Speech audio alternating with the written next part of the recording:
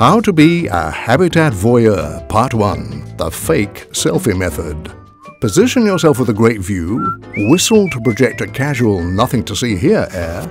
Taking your phone, select the camera app. Now for the clever bit. Reverse your camera like you're taking one of those selfie thingamabobs. With your back to the target, raising your device up, slowly move it to the left, and bingo, you're in.